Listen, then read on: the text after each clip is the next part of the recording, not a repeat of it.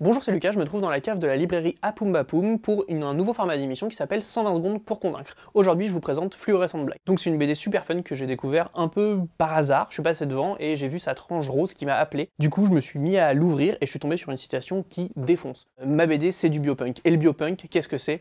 C'est Sid Vicious sur scène qui se taillade les joues et qui ressent pas la douleur parce qu'il a consommé une quantité de drogue suffisante pour assommer un éléphant. Et je me suis dit, si ça c'est le biopunk, j'ai envie de lire la suite. Le visuel est mortel, le dessin est sale, on commence, on suit deux personnages qui sont deux enfants et leur mère.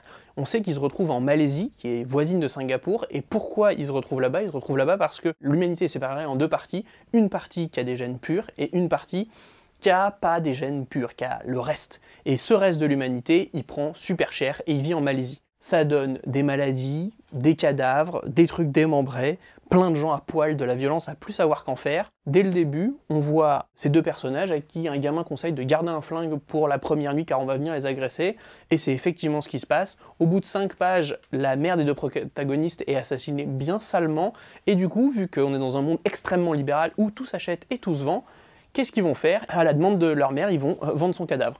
Ça commence bien, c'est mignon, ça pose bien l'ambiance. On suit donc ces deux personnages et une cobaye qui vit à Biopolis qui rencontre. Le personnage principal va avoir une histoire d'amour avec elle. Cette BD est géniale car toute la violence symbolique et toute la violence au sein de ce récit est portée par le dessin qui exacerbe ça. En ouvrant la BD, on a deux choix. Soit on est horrifié par le dessin, on la referme immédiatement, soit on s'attache à ce que les gens disent et on vit pleinement chaque page de cette BD. En gros, si je vous ai pas encore convaincu, si vous aimez l'ultra-violence, le punk, des dessins extrêmement expressifs, hyper colorés, avec euh, des scènes fouillies, avec de la violence partout, du sang, des tripes, des boyaux, mais en même temps une belle histoire avec quelque chose qui a vraiment du fond, une BD qui a du cœur, où elle parle euh, de classe sociale, de différence, de lutte, d'eugénisme. Franchement, allez-y les yeux fermés, cette BD est une...